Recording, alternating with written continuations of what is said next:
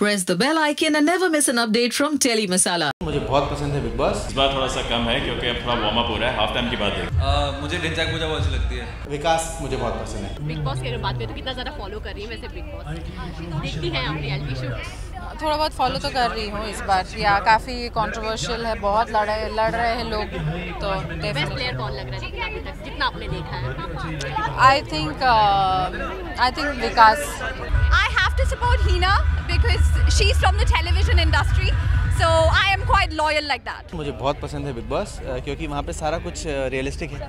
बहुत सारी ऐसी चीज़ें हैं जो आपको जनरली किसी शो में देखने नहीं मिलती। इन जनरल हम लोग जब कोई शो करते हैं तो वो बहुत स्क्रिप्ट फॉर्म में होता है जहाँ पे हमको एक कैरेक्टर पोर्ट्रे कर रहे होते हैं। वहाँ पे सारे कैरेक्टर्स हम खुद ही होते हैं और हम खुद को ही पोर्ट्रे कर रहे होते हैं। तो बहुत सारी लड़ाइयाँ बहुत सारी नोकझोंक होती है जो देखने में आई थिंक सबको ही बहुत मज़ा आता अच्छा बेस्ट प्लेयर कौन लग रहा है वैसे बिग बॉस का? है right now best player Vikas मुझे बहुत पसंद है पर्सनली मतलब मेरे को पता है क्या हो रहा है बिग बॉस में क्या नहीं हो रहा। नहीं मुझे नॉलेज है but I don't watch it लग रहा है आप दोनों Hina is very strong Vikas is very smart तो हाँ हीना आई वुड से मुझे ढिंचाक पूजा बहुत अच्छी लगती है। ज़्यादा नहीं इस बार थोड़ा सा कम है क्योंकि अब थोड़ा वार्म अप हो रहा है। हाफ़ टाइम के बाद देखते हैं। मैच फिर असली मैच शुरू होगा। क्या कहना चाहेंगे आप? या आई थिंक लोग थोड़ा सा फेक था पहला हफ़्ते में और उसके बाद मेरा इंटरेस्ट थोड़ा कम हो गया।